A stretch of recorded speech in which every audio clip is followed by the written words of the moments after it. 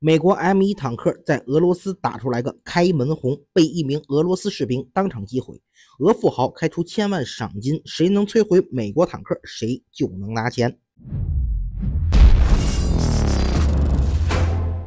欢迎各位收看本期迷彩虎，我是虎哥。最近，美国的 M1 坦克不败金身终于被打破了，而打破这一金身的是一名呼号为拉斯维特的俄军士兵。具体细节方面呢，在俄罗斯目前还没有公布，只是说了这是阿夫迪耶夫卡后续战役中一名俄军士兵使用武器将该坦克击毁的。接下来他将会获得一千万卢布的奖金啊，和人民币八十多万。现在这些传说中天下无敌的美国坦克都上了俄罗斯的悬赏名单，一个坦克都不许留着。M1A1 主战坦克是美国1985年拿出来的一款全新坦克，也是全世界第一款第三代主战坦克。当时这款坦克的主要作战目标呢，是作为二代主战坦克的苏联 T72 和 T80。在海湾战争时期，这款坦克得到首次参加大规模实战的机会。随着伊拉克购买的俄式坦克被进行了一场一边倒式的大屠杀。奠定了 M1 坦克天下无敌的威名。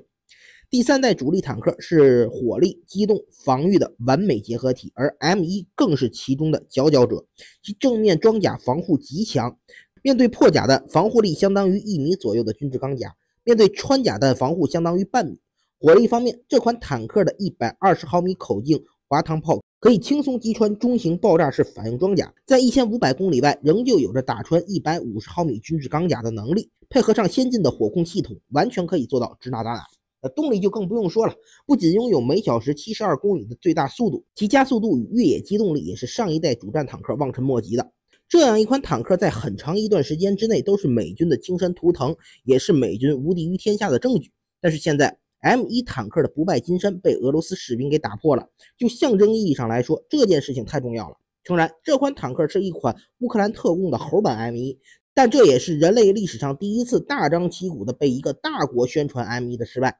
此前，也门和沙特阿拉伯的战争之中，沙特王爷军用的是美国自用的贫铀穿甲弹升级版 M1A2，结果胡塞托协军通过各种手段击毁了二十辆。只不过当时因为战争发生在也门境内，关注度不高，美国人把这件事情给模糊过去了。问题是现在可模糊不过去了。俄罗斯方面不仅大肆宣传本次胜利，而且还开出一千万卢布的天价悬赏。